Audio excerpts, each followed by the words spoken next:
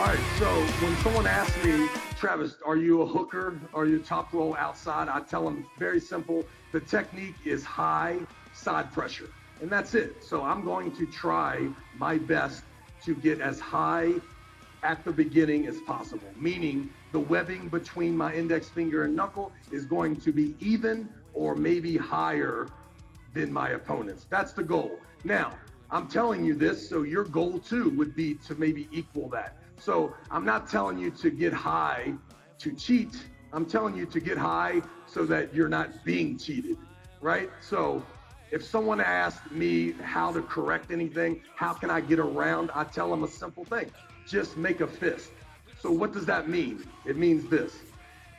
Right away, when you make a fist, it's very simple, right? You're just going to close your hand as tight as you can. So naturally, one of the exercises that you're going to want to do is you want to get your hand as strong as possible. I see people with big handles. Igor Mazurenko has every handle in the world.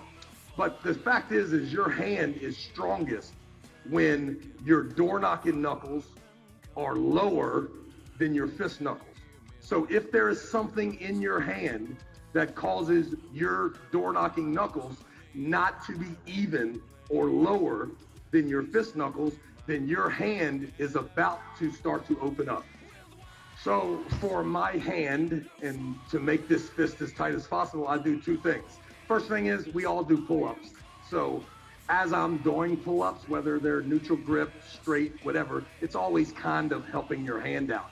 But the most important exercise for me is to find whether it is um, a strap, a rag. For me, I just use a t-shirt normally and I'll wrap it around my hand. And when I make my fist, I make sure that my door knocking knuckles are lower than my fist knuckles. If you spend time with a big fat object in your hand and your hand half open, you're going to start to believe that your fingers are strong enough to withstand that pressure. But the truth is, there's no such thing as a, sm- uh, a strong hand, but there are people that have a smart hand. In other words, their connection allows their door knocking knuckles to be even with their fist knuckles. So when I train all the time, just squeeze hard as I can, always keeping my door knocking knuckles lower. Never like this, right? Always inside. And then whenever I get to the table, know, regardless of the position where they set the guy, I know that I'm not going to be comfortable unless my fingers, we need back pressure, up pressure, all that good stuff. The problem with back pressure is most of the arm wrestlers, whenever they're trying to perform any sort of back pressure, the first thing they do is throw their feet forward and then they lean back. And they do develop some good back pressure. The problem is, if you are leaning back and have all your weight backwards, you have very little side pressure. So the secret is for me in my high side pressure is to have back pressure that doesn't cause me to lean backwards. I need to hold back pressure, my elbow up away from my body and under my hand. Okay?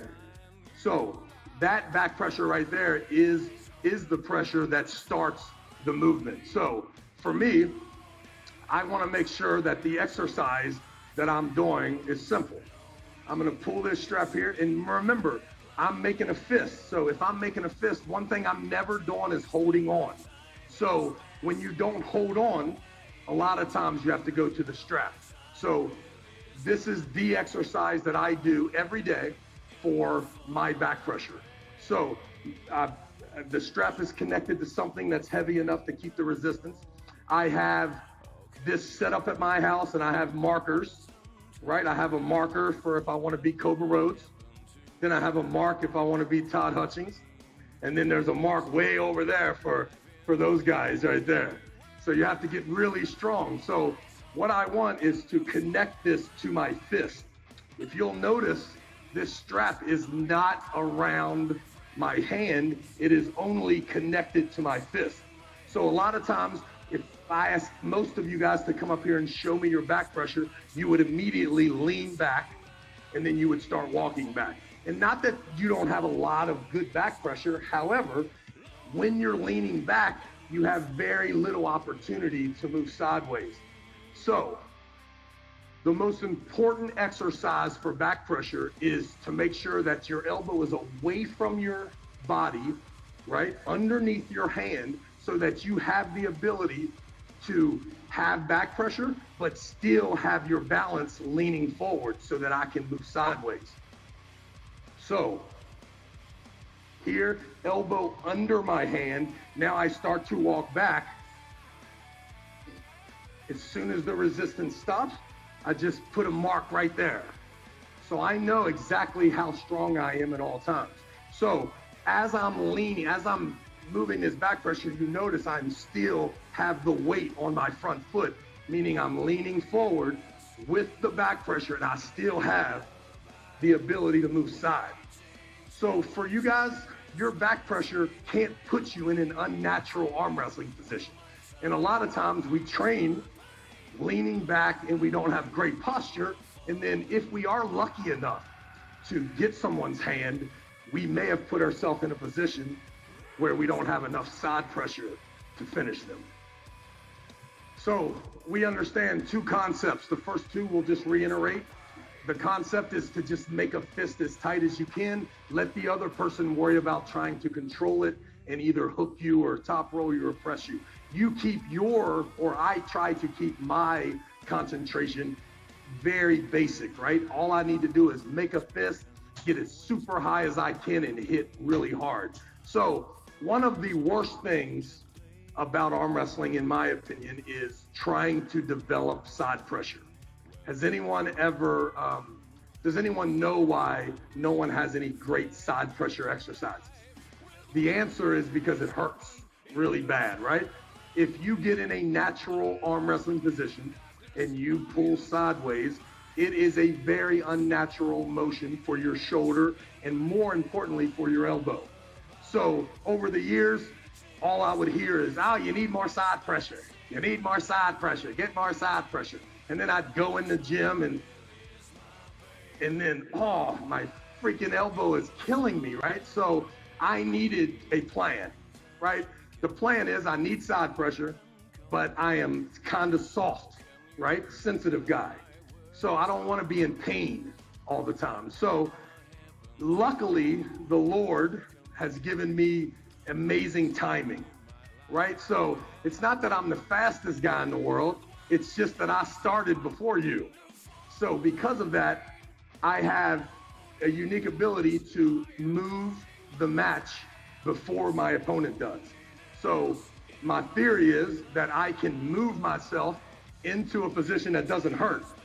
And then I can work my side pressure from there. So my side pressure is right here. I have a strap here. A lot of times it's a rope, right? And I hook the uh, the leather strap that you see the abducting exercises. All the girls in the gym do that. So I put that strap there. I usually have a guy there, tug a warren on the thing. And for me, it's not as much pulling as just resisting. So what I've learned is that if I go sideways, there's a place where it stops. And then I learned that if I move my elbow forward and the pressure starts to go down my forearm, that I can go a lot further. So God forbid that I ever do end up in any sort of a hook match. But if I do, because of my training, because of the side pressure, and because I'm always trying to resist opening up, I've learned that you can change the angle so that the pressure is going down your forearm and you'd be surprised at how much more that you can handle. So I've taken this starting position. I've figured that most of you guys are not very athletic and that I'm going to get the jump.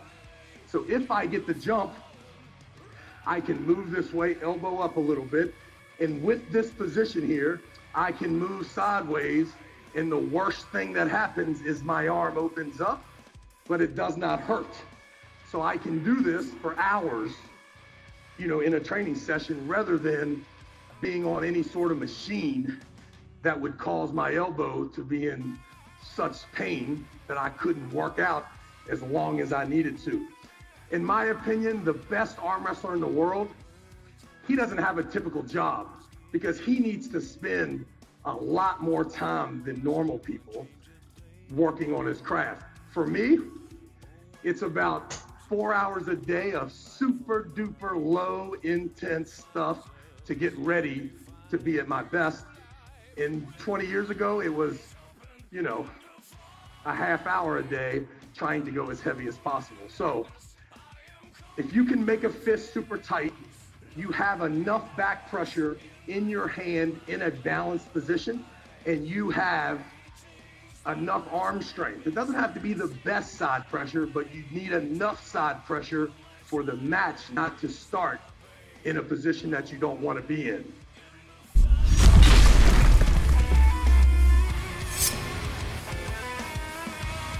Не пропусти юбилейную вендетту 50 в Руне. Покупай газировку, попкорн и наслаждайся харизмой Ларата, а также другими поединками. Ну если же у тебя не получается приехать, ссылка на трансляцию под роликом.